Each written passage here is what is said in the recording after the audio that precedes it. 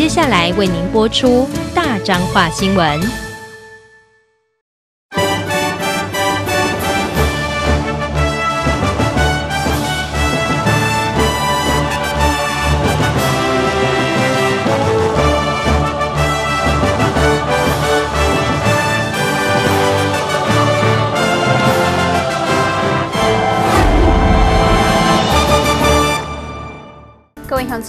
大家好，欢迎收看今仔日新历七月初九，古历五月三十，礼拜五的开播大中华新闻，我是李冠基。新闻开始，先来关心三十秒的新闻重点。中华市中央路桥下开天祥路，今仔日上午十点左右发生一件交通意外，一台蓝毛矿车疑似无注意高度限制，疑似车身卡伫咧路桥下卡。山西恩海路一段七百二十八项，当地民众反映该路段地势伤低，拥有积水情况。关于林总汉甲山西乡长苏伟俊是到现场会勘。中华本土疫情今仔日维持零确诊，疫苗接种也咧继续进行当中，特别是六十五岁以上的长辈，卫生局指出，要继续做落去，得到有六成以上的保护力。彰化市中央路桥卡天祥路，今仔日上午十点发生一件恐怖的交通意外。一台蓝马控车伫通过路桥下卡时阵，疑似无注意高度限制，致使车身卡伫咧路桥下卡，车头是规个变形，驾驶也被压伫车内，现场画面是相当恐怖。南马空车伫通过着桥卡的时阵，直接卡伫咧桥卡。消防救护人员接到报案，赶到现场要来抢救卡伫咧车头的驾驶员。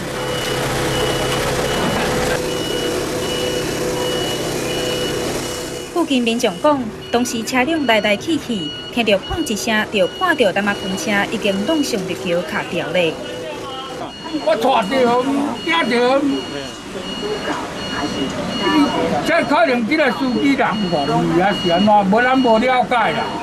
因为毕竟人是伊赛车，咱无了解。速度真紧，我无感觉咧，这种车我无感觉太紧。坐在里面啊，坐坐在柜台啊，啊就听到嘣一声。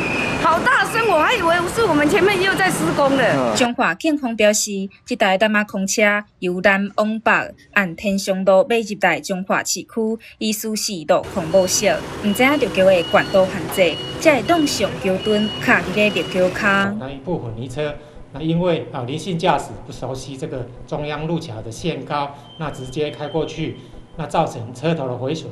那目前呃离性驾驶在医院治疗中。那酒测值的部分，那等医院抽血检验以后，才有这个详细的酒测值。那目前那个伤者是一四七。警方指出，彰化市中央立桥下骹的天祥路管道限制是三米二，这台大马空车上关的所在有三米九，当地无法度通过，驾驶已经送病院抢救，详细事故原因各有需要单台调查。大众新闻中向彰化采访报道。山西沿海路一段七百二十八号，当地民众反映该路段地势增加，容易有积水情况。加上去年的四股圳河南改善工程，路面拓宽了后，敢若修复当时施工的路段，致使路面有一寡关节落差。到号上午，管委员林宗汉、甲山西乡长苏伟俊以及管府干务处人员到现场会勘，研究将规条道路重新抛土抛石，提升该路段的行车安全。山西恩海路一段七百二十八巷，当地民众反映该路段的地势较低，落雨水歹消，容易出现积水情况。关于员林宗汉九号上午，甲山西乡长苏伟俊以及管府干部处人员到现场会勘，研究相关的改善办法。这个四股村提案吼，还未做以前吼，这条路面吼时常淹水。啊，这次吼提案完成了的时阵，因为咱的路面有较宽。所以这次咱山西乡长吼啊，真认真吼，来向台电啊以及咱中岸反映吼，啊要来甲这条道路吼来甲修正完成，互咱在在地啊这学生囡仔吼啊以及咱这百姓民众吼啊行走或是运动吼有一条做良善的道路。摊位咱河沙路出来吼，一直到国中、国小啊以及甲咱的公所。那么真侪人伫咧行这条路非常的重要。那么因为有乡亲嘛伫咧反映，啊，这个路面嘛有较歹淡薄，啊，佮淹水，所以会造成危险。那么伫遮吼，咱也真感谢咱台电吼以及民众和议员，因因拢一直非常咱关心咱所在这个所在，啊，希望讲紧来甲咱所在这有需要改善的道路来完成。啊，所以即个就是规条路要甲整修啊。关于阮林总汉指出，四股镇河南改善工程完工了后，这条路有变宽，伊也将全力争取经费来将这条路重新整理好。后要去上课、上班的用路人有一条舒适安全的路好行。来中华新闻叶丰武刷西采访报道。中华关的武汉肺炎疫情维持零确诊，由于中央公布延长三级警戒，但是有部分会进行开放。为此，中华关政府也来详细说明相关的防疫指引，特别是餐厅内用的部分，将有条件来开放。中华本土疫情今日维持零确诊，疫苗接种嘛继续在进行中，特别是六十五岁以上的长辈。卫生局指出，只要继续做落去，就当有六成以上的保护力。在七十五到七十九岁，它的保护力已经到了快要到七成了哈，那比往年流感话多了一成左右。那八十到八十四岁也是超过六成，我们目标值就是六成。那这几天呢，八十五岁以上都开放大家来做登记预约，所以也已经来到四成多了哈。所以整个七十五岁以上的接种率呢，已经到五十八点五。那我们的目标值依照中央供应的一个疫苗量，大概就是六成。卫生局指出，将提拨三千外剂疫苗，给居家隔离的人来做，因为西瓜人拢是高危险群。他们居家隔离之后，很多都没有发病哦，发病是少数。那他们隔离十起码十七天。因为它本身就在这传染链里面，也有相关的社会接触，其实是持续存在的，那是人与人之间的社会网络，所以我们特别把这三千支的疫苗，我们把它拨出来，会提供给这三千位的居家隔离者来施打疫苗。虽然三级警戒继续落去，不过中央有小可开放，特别是餐饮的部分，餐厅只要做好防疫，就当互人客伫内对用餐。不要忘记哦，吃饭的时候隔板就是口罩。哦，吃饭的时候隔板就是口罩。以前在室内用餐的时候，比较少有餐厅是有这样做的。好，所以我们这次特别呼吁，如果你要配合开放内用，这些隔板、这些座位安排，请你都要准备好。好。另外，地表会顶宗教活动，关政府强调，中华观众维持无开放，也就是宗教场所继续封闭，搁较袂当办法会或者是进行电关注活动。我们呢不解封，在彰化防疫不。啊，不松懈哈！我们宗教场所目前是不开放的，我们全面停止进香团及绕境相关的活动，维持三级警戒的规范，一直到七月二十六号。因为我们宗教传染链实在是太厉害了哈！馆长王惠碧强调，但中华关的疫苗，伫后礼拜二就会注掉，刷落来疫苗，除了部分注册注射对象以外，就是采用登记的制度。爱心已有登记，教育表的档主。大众新闻中向中华采访报道。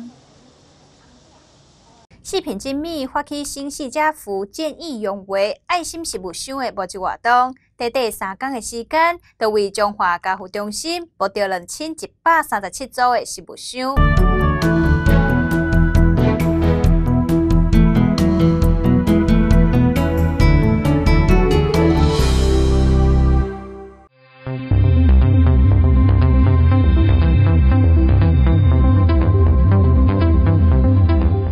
大家好，我是余中仁医师。接种 COVID-19 疫苗是预防感染、避免重症与死亡最有效的方式。提醒您，只要符合目前开放接种顺序，并经过医师评估，就可以尽快接种疫苗，降低感染风险。此外，也要特别提醒大家，高龄年长者若感染 COVID-19，较易产生严重并发症或死亡。为了保护家中长辈，请符合接种顺序的长者尽快接种疫苗。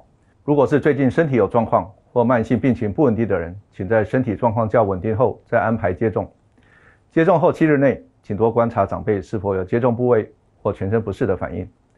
如果症状持续或没有在两日内好转，请及时就医。最后提醒大家，打完疫苗后，持续配合防疫措施，才能远离病毒威胁。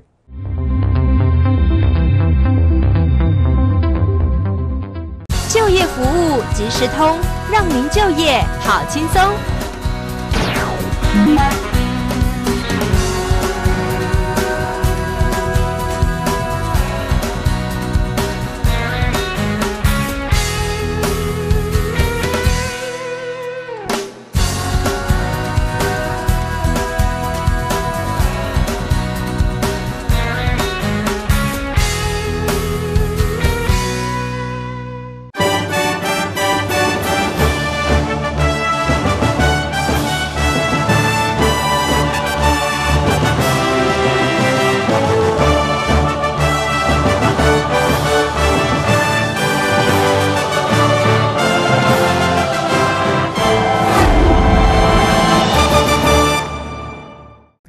收看是开播大众化新闻，我是李冠金。明仔是拜六，也是旧历六月初一。根据通讯记载，明仔在位伫遮北方，好时是上午九点到十一点，适合拿菜。继续提供详细路面地资讯，互乡亲参考。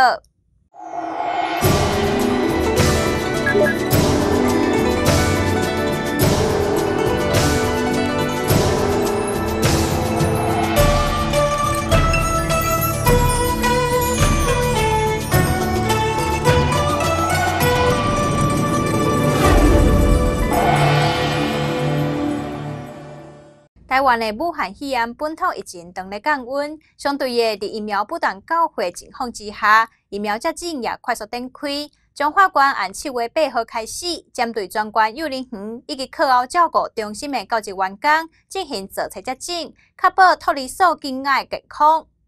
台湾的武汉肺炎疫情渐渐缓和，为着应应三级解封了后，幼儿园等幼教人员爱马上投入照顾幼童的行列。中华关政府按七月八号开始，针对全关所有幼儿园甲课教中心的教职员工来注射疫苗。看这个状况，解封为解封是有机会的，那应该也马上就会开始面临到这个托儿所小朋友的这个路呃学习哈。那所以说。把这个呃公立私立的托儿所的这个老师们列为我们这一波师党的一个对象。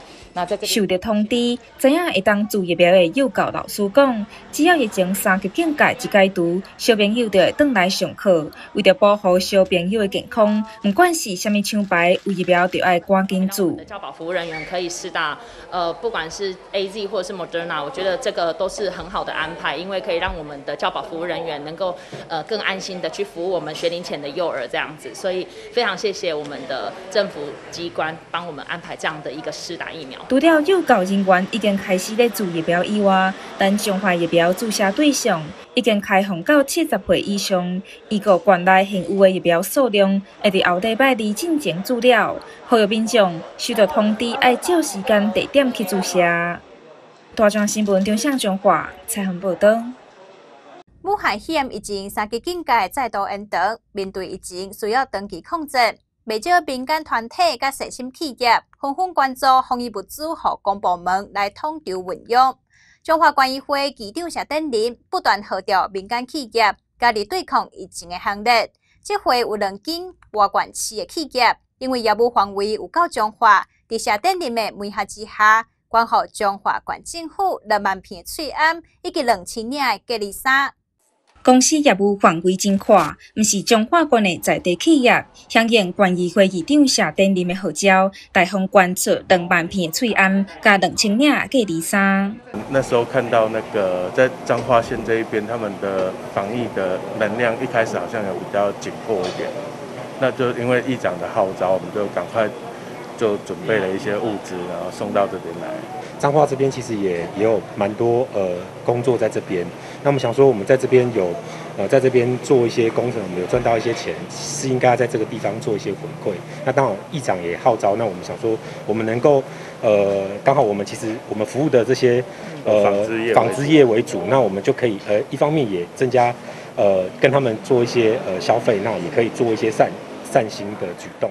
代表谢登林出席关键仪式的关议会秘书长表示，全面对抗疫情，谢议长是正肯定中华县政府团队伫防疫工作顶关的努力，所以是一再来号召民间友人来发挥爱心。代表议长哈，也两位董事长的一个善心哈，捐助我们一些医疗的一个物资哈。那我们也知道说疫情趋于稳定，那疫苗越打的比比例越来越高，那也希望彰化在呃府会和谐的情况下，我们将疫情。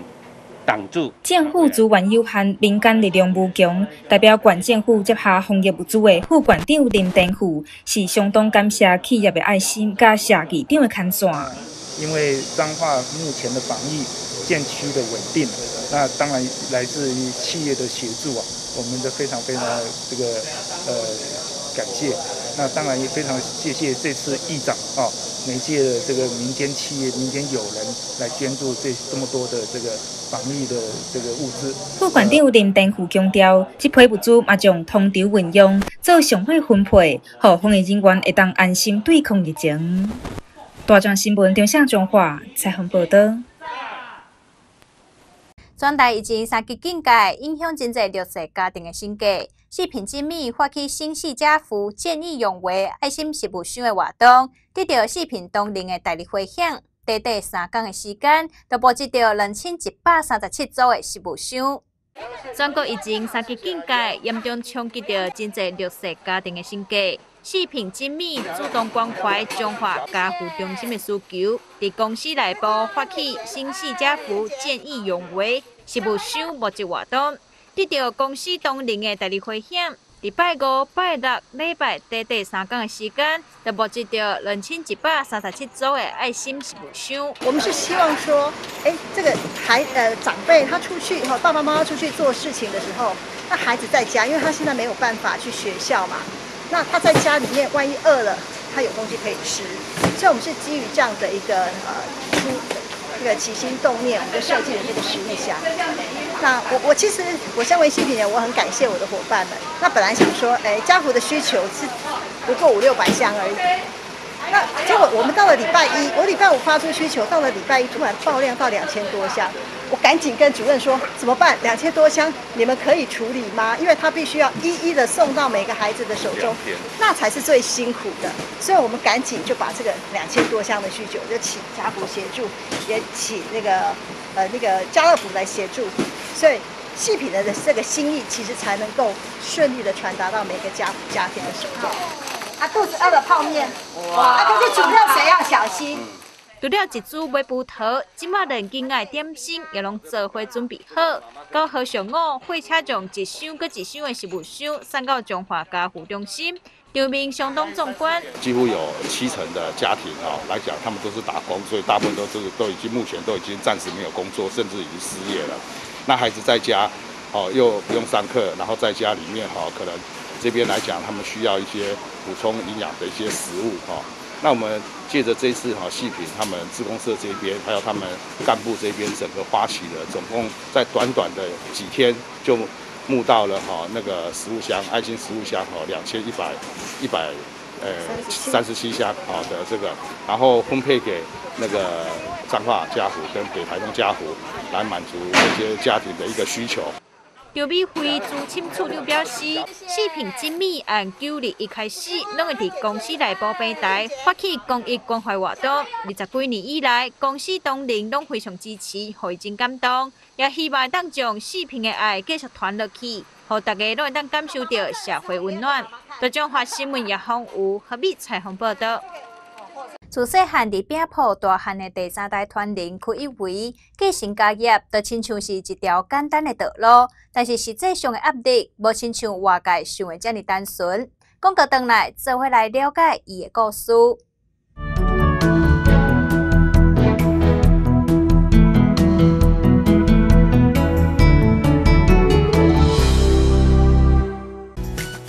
立体居家防疫，凯擘大宽屏老用户专属回馈，七月十二号前免费升级到一百二十 M，数据机断电重开即可。另有短期防疫专案，月付六九九元起。再想买 video 追剧看到饱，Unigym 客厅就是健身房，请洽当区服务业务或客服零八零九零五一零八零。一心投资，谢谢呢。消防队救护车，谢谢呢。送包裹的先生小姐，送便当的先生小姐，辛苦啦！乖乖听话，做好防疫的咱大家。咱大家拢是好宝宝，大家辛苦啦！啊，拉布拉布，love you。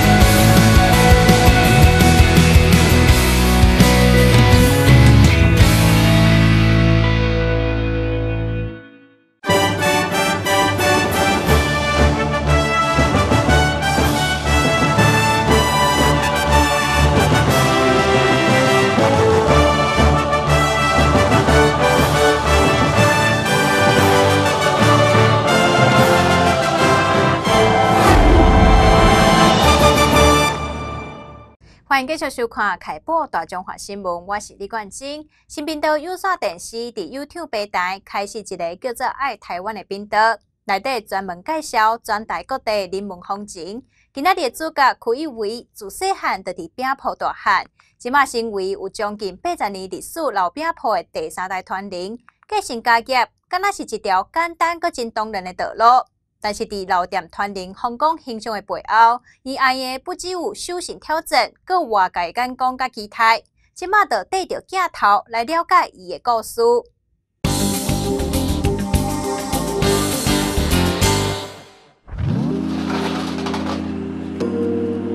可能我的经济压力是比别人少，没错，可是就承受压力是不同的。要为家族、为生命去打拼。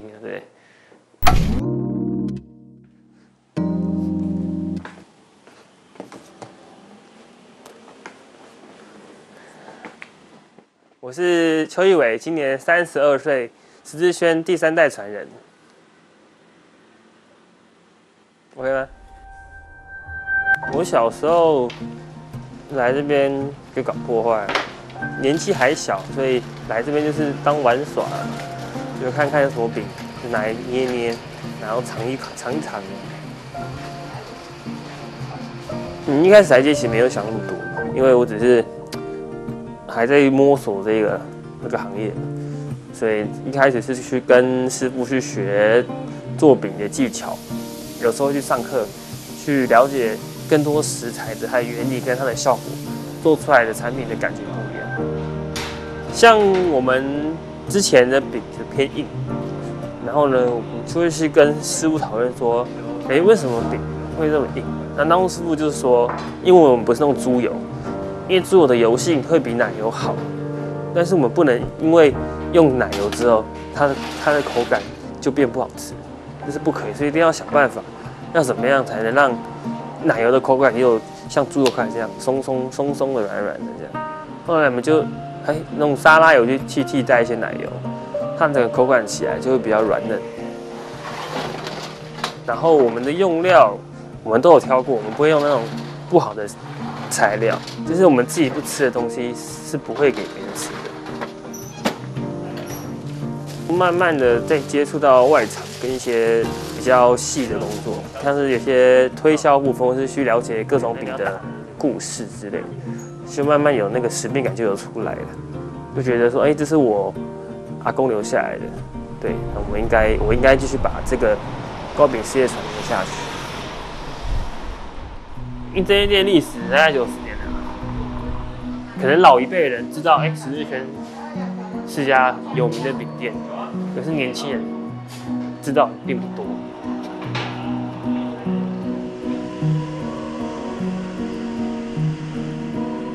你怎么做，大家都在看。可能大家看你们这一前两代做的很好，那到你，大家就会盯着你看，说你第三代。能不能继续撑下去，还是你会把它弄到垮？这就是压力所在的地方。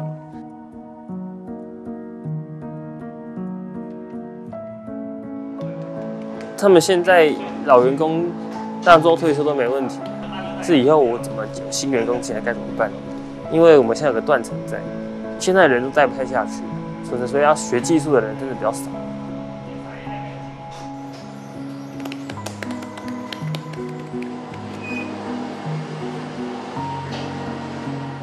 就能做多少算多少。现在只能这样想，因为你知道传统的东西到底能撑多久，没人知道。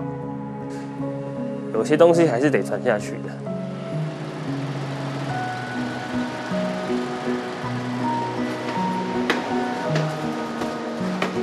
拿送蛋糕。呃，等一下，责任，因为我们是做传统食品嘛，每一个产品都有它的故事，它故事都是因为它的故事都是由祖先而来的，每个东西它都是有原因存在的。那我们就是把这个传统的食物，让更多人知道，一直传承到下一代、下一代的下一代，大概是这样。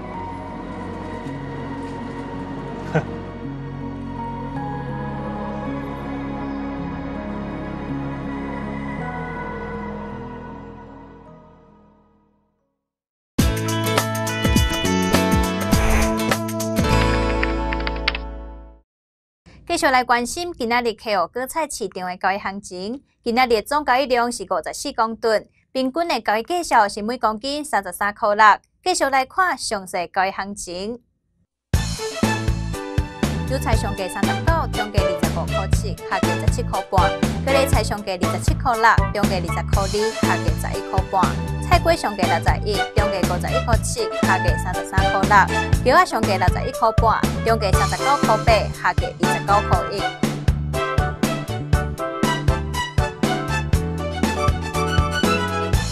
花仔菜上价九十五块八，中价八十一块六，下价五十三块九；片叶上价五十，中价三十七块一，下价二十二块半；罗心贝上价二十八，中价十九块一，下价十二块。参头上价二十七，中价二十三块半，下价十六块九。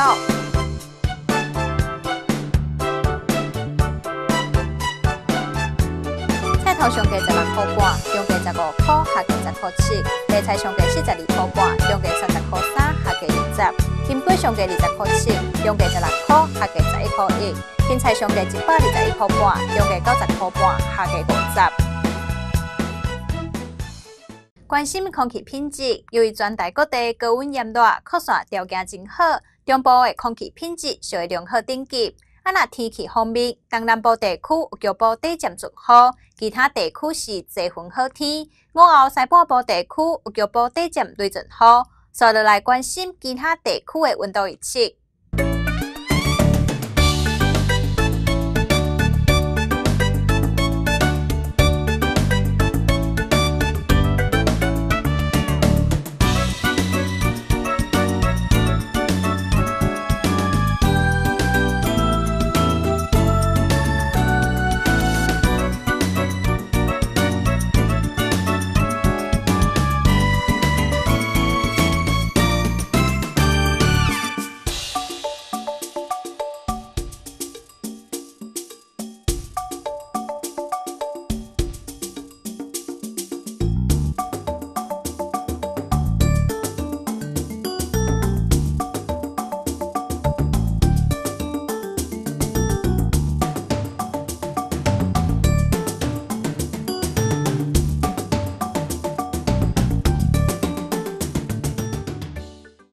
上就是今仔日的开播大众化新闻，感谢你的收看，我是李冠金，祝福乡亲万事顺心，再会。